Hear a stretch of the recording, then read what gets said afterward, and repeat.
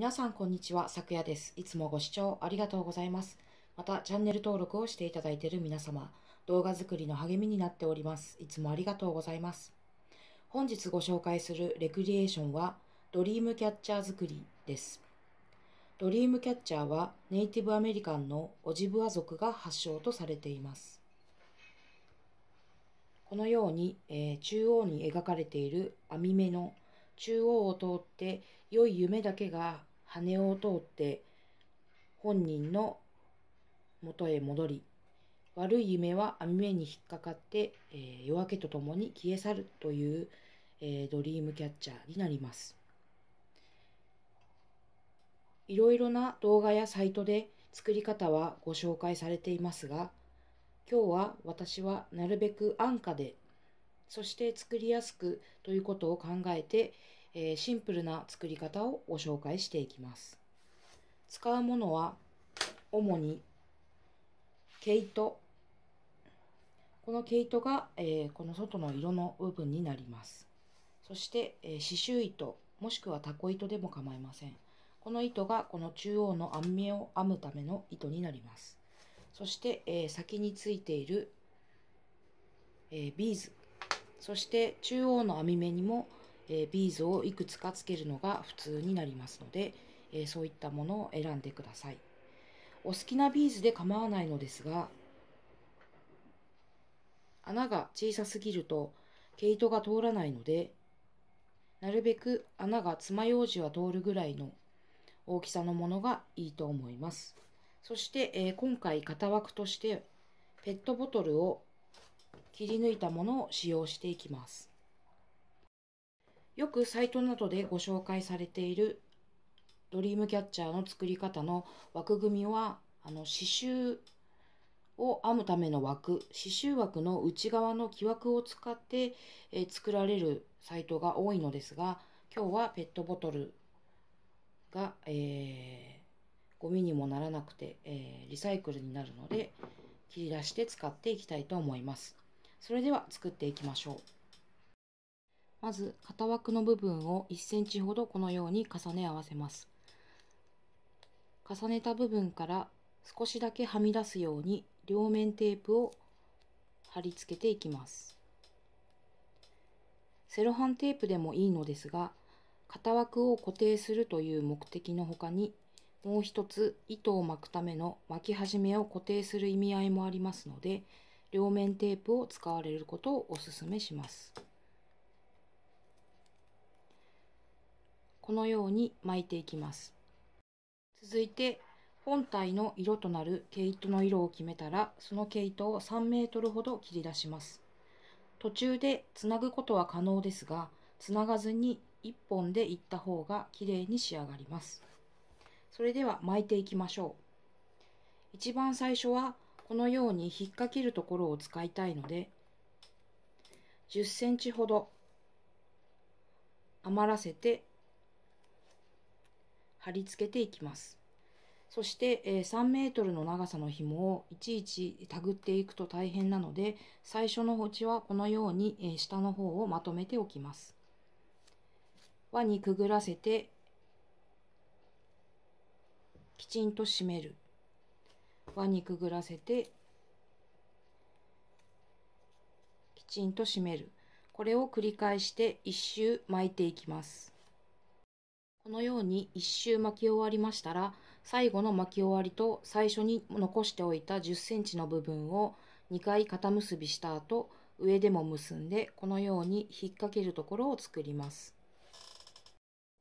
続いて内側の編み込みの部分を作っていきます。内側の編み込み部分はいろいろな編み方がありますが今日は一番簡単な基本の五角形を中心とした編み込みをしていきたいと思います。内側の糸に使いたい色を選んだら1メートルほど切り出し一番上の結び目のところにこのように、えー2回肩結びをして端は処理しておいてください。この状態から始めていきます。ここを頂点とした五角形を円の中に作り出していくイメージをして最初の1点目を決めていきます。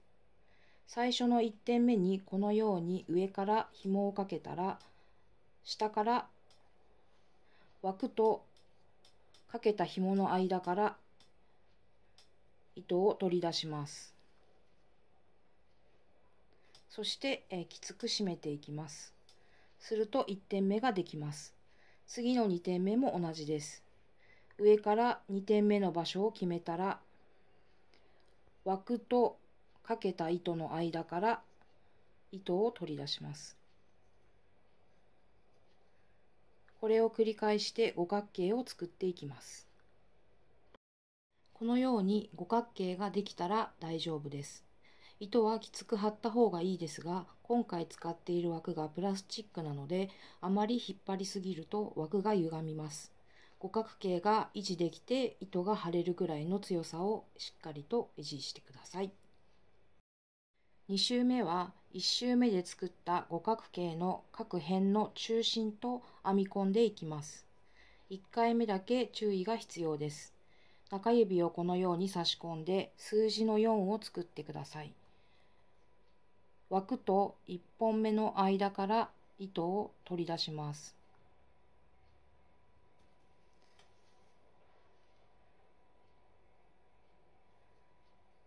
これで辺の中央に来ました。これができたら次の辺の中心と一緒に合わせてまた下から糸を抜いてくる。あとはこの作業を何周も繰り返していけばできます。2周目が正しく編めると1周目がこのように星形になり2周目が下向きの五角形ができています。これをあとは繰り返していくだけです。編み目の途中にこのように、えー、雲が引っかかった様子を表現するためのビーズを入れる必要がありますのでどこで入れても構いませんが、えー、途中で入れ込んでください。3週目あたりからかなり小さくなりますので、えー、早めに入れておくことをお勧めします。中央は良い夢が通り抜けるための穴なので、できるだけ中央に寄らないところにビーズが来るようにしてください。はい、ここまで編み込みができたら完成になります。えー、最後のところは、えー、近くの糸と一緒に2周肩結びをして留めてください。余った糸は切っていただいて構いません。指で編むのは3周が限界だと思います。私は針と糸を使って4周目を編みましたが、3周でも十分可愛くできますので、えー、心配しないでください。続いて、え、こちらの下につながる部分を作っていきたいと思います。本体と同じ色の毛糸を50センチを3本、15センチを3本切り出してご用意ください。切り出した糸とは別の毛糸を用意します。指を3本横にし、4周巻きつけます。4周巻きつけたところで糸を切ります。4本のこの輪の中に先ほど切り出した50センチの方を通します。そして2回肩結びをします。50センチの糸と4周の輪がつながったら結び目と正反対の方向を輪を切りますするとこのように広がってしまいますので結び目から1センチほど下あたりこの辺ですねを15センチの毛糸で縛っていきます。2回固く縛ったら余った部分はカットします。下がタッセルのようにこのようになったものを3本作ります。そうしましたらお好きなビーズをこのように、えー、長い糸のところから通していきます。ビーズの穴が小さくて難しい場合には爪楊枝を使うと入りやすくなります。これを3本用意してください。3本用意ができましたら本体に取り付けていきます。取り付ける長さは自由ですがちょっと分かりづらいんですけど中心から V の字になるような形で、えー、取り付けることが大事になります。中心がずれるとかっこ悪いので、えー、まず中央に結ぶ紐を決めてそれを結び目の真下のところにつけていきます。2回肩結びをして余った糸は処理をします。1本目は結び目の真下、そして、えー、両サイドの紐は正五角形、最初の正五角形の底辺の 2, 2頂点、ここに結びつけるとバランスが良くなります。このように2回肩結びをして、えー、余った糸を切れば完成になります。はい、取り付けが終わりました。これができれば完成になります。多少手間がかかりますが、レクリエーションの時間を目いっぱい使えると思いますし、インテリアとしても可愛いですし、